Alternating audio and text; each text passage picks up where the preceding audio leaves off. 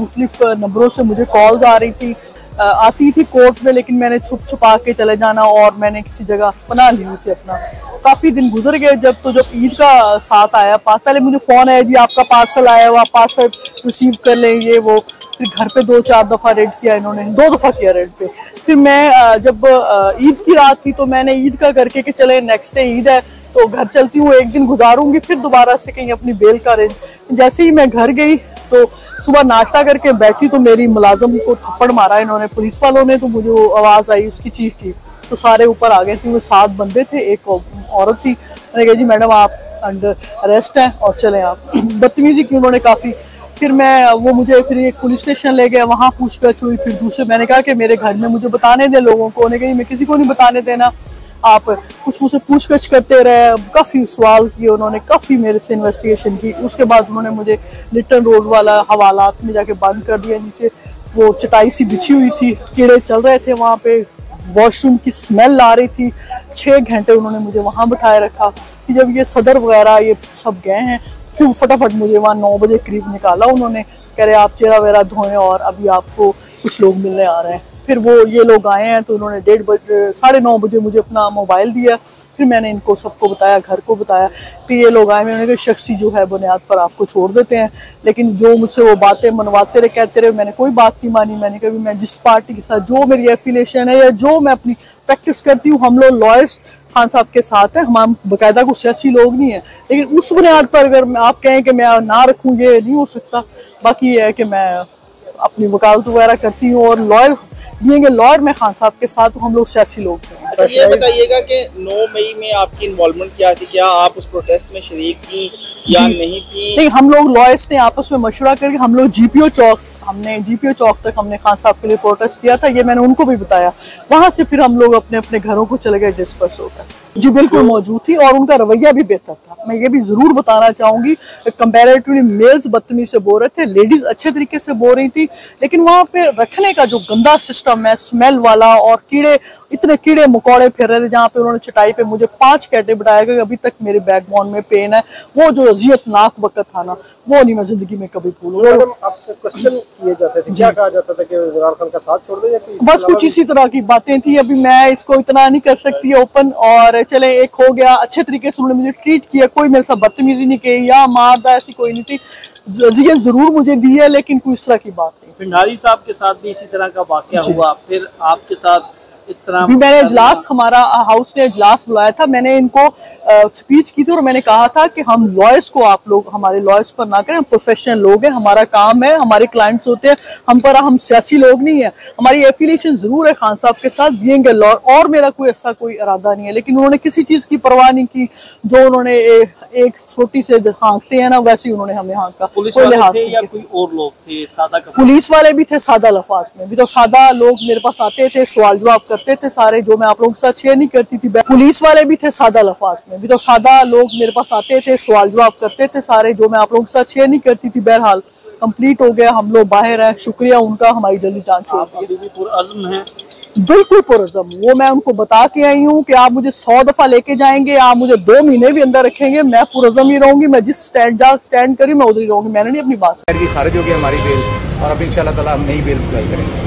अच्छा आपकी तरफ़ से क्या मौके इख्तियार किया गया था? क्या मतलब आपने जी हमने पैरवी की थी थोड़ा सा हम लेट पहुँचे तो उस वक्त ऑर्डर हो चुके हम क्योंकि हॉस्पिटल तो चले गए थे इस वजह से। हॉस्पिटल की वजह से और ये कौन सी मुकदमे में ट्वेंटी सिक्स ट्वेंटी थ्री और अब आपके पास कौन सा फॉर्म है? कहाँ पे इसी फोरम पे हम आएँगे दोबारा क्योंकि यही फोरम वो असल में सुबह से यहाँ पे थी और वो अभी तक उनका blood pressure seventy by forty है। और काफ़ी सीरियस हालत थी कि मैं उनको हॉस्पिटल लेके इमरजेंसी में छोड़कर अपने बेटे को उनके पास बैठा के इधर आया था ये चेक करने के लिए। अब मैं वापस जा रहा हूँ हॉस्पिटल देखता हूँ क्या सूरत हाल है तो क्या ये समझते हैं कि अदम पैरवी पर जमानत खारिज कर दी गई है? इतने दिनों से दलाइल मुकम्मल हो गए थे सारी चीज़ें हो गई थी। आखिरी वक्त में आकर जो है वो सिर्फ़ ये बनाया गया है कि अदम पैरवी पर खारिज कर रहे हैं। देखिए रीज़न ये है उसकी कि चूँकि आपने अपनी जो जितनी बेल के ऊपर आर्गूमेंट की होती है वो दोबारा उसके ऊपर आपने रिव्यू करना होता है कोर्ट के अंदर। और कोर्ट को दोबारा आपने असिस्ट करना होता है। जब आपने कोर्ट को दोबारा असिस्ट करना है तो जब आप टाइम पे नहीं पहुँचेंगे तो ऐसे होगा चूँकि फंसे हुए हम दीगर और मैटर्स में और ये वालदा उसकी अचानक तबीयत खराब होगी जिस वजह से हम उसी भागदौड़ में लग गए तो उस वजह से फिर ये बेल खारिज होगी। अच्छा, अब इंशाल्लाह नहीं अप्लाई करेंगे। सलाम के साथ तयबा की और दीगर उसकी खारिज होगी। जेल के एडमिनिस्ट्रेटर की हैसियत से महकमे के एडमिनिस्ट्रेटर की हैसियत से इतना मुझे पता है कि हमारे पास जो जेल मैनुअल है 1250 रूल्स है हमारे पास। जो कि जिनके थ्रू हम प्रिजनर्स को प्रिजन को मैनेज करते हैं। तो इसमें तमाम जो रूल्स हैं, उसमें प्रिजनर्स की वेलफेयर का, उनकी मेडिकल केयर का, उनके लिविंग कंडीशंस को बेहतर करने का, उनकी मुलाकातों का, उनके अच्छे खाने पीने का, ये सारी चीज़ें उसमें प्रोवाइडेड हैं। उनके साथ कोई नुकसान उनको पहुँचाने का या सख्ती करने का कोई कंसेप्ट नहीं है। और ना ये हमारा काम है कि हम इस तरह के कामों में आए। तो मैं नहीं समझता कि पूरे पंजाब में ना ही हमें किसी तरफ़ से कोई ऐसी इंस्ट्रक्शन है, बल्कि हमेशा हाई लेवल पे जब भी मुलाकात हुई है तो मीटिंग्स हुई हैं तो हर तरफ़ से हमें ये बाकायदा पाबंद किया गया कि किसी किस्म की मेडिकल केयर पे, उनके खाने पीने पे, उनकी सहूलियात पे जो लोग आए हैं, उनकी आपने जेल मैनुअल के मुताबिक उनको जो है बाई द बुक आपने फैसिलिटीज़ देनी है और उसी तरह ही हम दे रहे हैं। जिनकी शनाख्त परेड थी, उनकी मुलाकात हम नहीं करवा रहे थे। अब शनाख्त परेड होगी, अब उनकी मुलाकातें भी करवा रहे हैं। तो मेरा ख्याल है, अगर कोई अपने ख्वाहिश के मुताबिक या अपनी सोच के मुताबिक ये कोई पहली दफ़ा नहीं है, पहले भी ऐसे होते आए हैं वाक़ तो शायद हो सकता है उन्होंने अपने तौर पे कोई जेल के अंदर बैठ के जिस तरह बंदे को कोई मौका मिल जाता है, रोज़मर्रा की ज़िंदगी से एक मसरूफियत से टाइम मिल जाता है सोचने का, करने का। मे भी ये कोई वजह हो। लेकिन ऐसा जेल में कोई हमारा इस तरह के मामला में किसी किस्म का कोई लेना देना नहीं होता कि भाई उनके ज़ाती मामला क्या है। तो जेल की जो प्रिविलेजेस हैं या जो कोई सहूलियात हैं, वो इस चीज़ से लिंक्ड हैं कि बंदा हीनियस क्राइम में नहीं होना चाहिए हैबिचुअल नहीं होना चाहिए। एक तो ये वजह दूसरी वजह यह है कि जब बाहर से खाना आता है तो उसकी एक प्रॉपर प्रोसीजर होता है।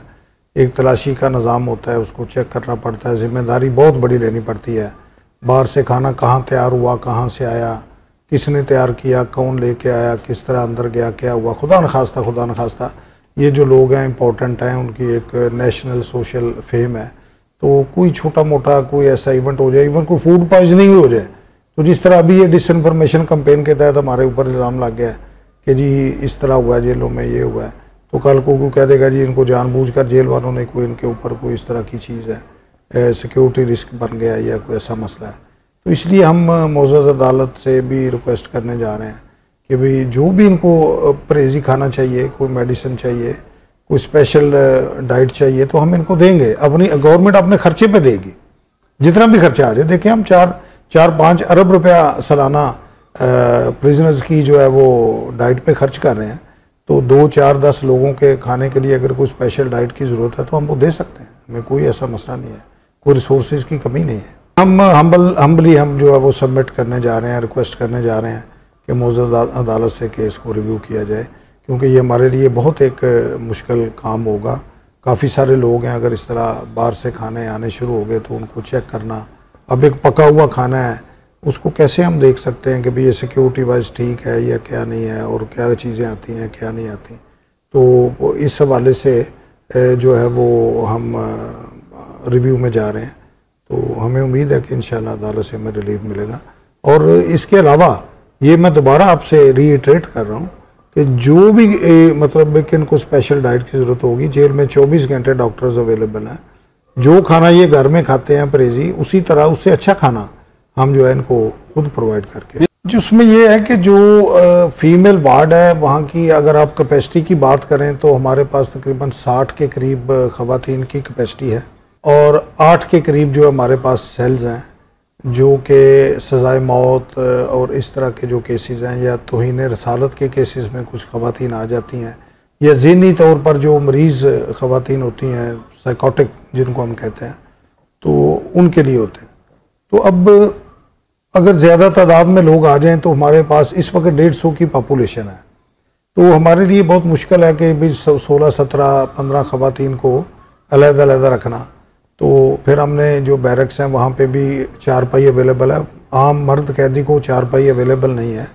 सिर्फ़ बच्चों को और ख़वान को चार पाई अवेलेबल हैं सोने के लिए और बेडिंग अवेलेबल है। टीवी हर वार्ड में बड़े साइज़ का 55 इंच का जो है वो हमने प्रोवाइड किया हुआ और केबल के चैनल वहाँ पे आते हैं। और हर पॉसिबल सहूलत जो है वो हम दे रहे हैं। उनको वहाँ पे ब्यूटिशियन की क्लासेस हैं। हम्म। वो जो भी सीखना चाहे हुनर टेलरिंग की वहाँ पे क्लासेस मौजूद हैं, वहाँ पे एम्ब्रॉयडरी की क्लासेस मौजूद हैं और इस तरह की तमाम फैसिलिटीज़ वहाँ मौजूद हैं। लेडी डॉक्टर 24 घंटे, आठ आठ घंटे की शिफ्ट पे मौजूद हैं। छः बेड का हॉस्पिटल हमने खवातीन वार्ड के अंदर बनाया हुआ है। हर किस्म की मेडिसिन हम प्रोवाइड कर रहे हैं। फिर कंसल्टेंट गायनाकोलॉजिस्ट मौजूद हैं और साइकोलॉजिस्ट जो हैं वो एक रेगुलर वो मौजूद हैं। उनकी जो मतलब साइकोथेरापी के लिए, उनको मतलब असेसमेंट के लिए। परेशानी आपको पता, जेल में जब बंदा जाता है, जेल तौर पर फ्रस्ट्रेशन का एनजाइटी का शिकार होता है। तो ये पूरी हम अपनी तरफ़ से कोशिश करते हैं।